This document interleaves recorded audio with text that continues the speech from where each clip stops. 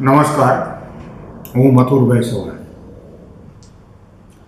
મિત્રો, સુરતની અંદર આ બધા જાણો છો કે ટેક્સટાઇલ એવી જ રીતે ડાયમંડ.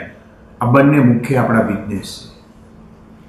ડાયમંડ બિઝનેસ એટલે વિશ્વ આખામાં જેટલા ડાયમંડ પીસ તૈયાર થાય છે, એ સોમાંથી નેવું સુરતની ધરતી ઉપર થાય છે.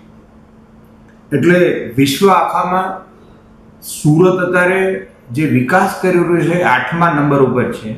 સાથે સાથે વિશ્વ આખામાં એ પણ છે કે સુરતમાં જ ડાયમંડ તૈયાર થાય છે.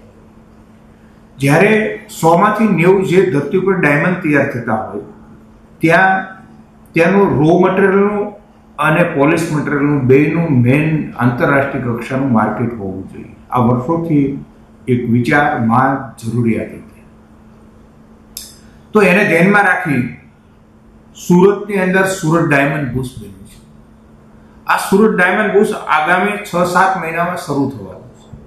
આ સુરત ડાયમંડ બુશ એટલે શું? તો કે વિશ્વનું ઓફિસ બિલ્ડિંગ, સૌથી મોટા મોટું બિલ્ડિંગ હોય તો એ સુરત ડાયમંડ બુશ આખું ગ્રીન બિલ્ડિંગ બધે બહુ બધી ફેસિલિટી સાથે આંતરરાષ્ટ્રીય કક્ષાની બધી જ ફેસિલિટી એમાં ઉપસ્થિત છે.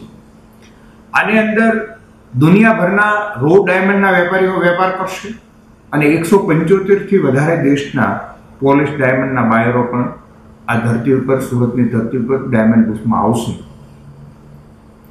એટલે બે લાખ કરોડનો કારોબાર સુરતની ધરતી ઉપરથી ડાયમંડનો થશે. આના હિસાબે ખૂબ બધા પરિવારો અલગ અલગ જગ્યાએથી સુરત આવવાના છે. અને એ પરિવારો એવા છે કે મહિને કોઈ બે લાખ, કોઈ ત્રણ લાખ, કોઈ પાંચ લાખ વાપરતા હોય. એટલે સુરતનું બધું જ રોટેશન તેજીમાં આવશે. હોટલો સારી આવશે બાયરો ખૂબ આવશે. એવી રીતે કુલ મિલાવીને દક્ષિણ ગુજરાત માટે ડાયમંડ બિઝનેસ માટે આ ખૂબ સારું જેને કહેવાય કે વિકાસનું એક આખું વ્યવસ્થા તૈયાર થઈ. એટલે ડાયમંડ બુશ આવવાથી ડાયમંડ ઉદ્યોગને તો ખૂબ જ ફાયદો છે. પણ શહેરને ખૂબ ફાયદો છે, ગુજરાતને ખૂબ ફાયદો છે. અને ડાયમંડ બુશ બનવાથી જે આપણું આંતરરાષ્ટ્રીય પ્લેનની વ્યવસ્થા, જે એરપોર્ટ આપણું તૈયાર થયું છે, તો ખૂબ જ દેશોના પ્લેનો પણ ભવિષ્યના દિવસમાં આવવાના છે. એટલે સુરતનું ભવિષ્ય ખૂબ સારું છે. આવનારા દિવસોમાં ડાયમંડ બિઝનેસની સાથે સાથે અન્ય બિઝનેસો પણ ખૂબ સારા હાલવાના છે.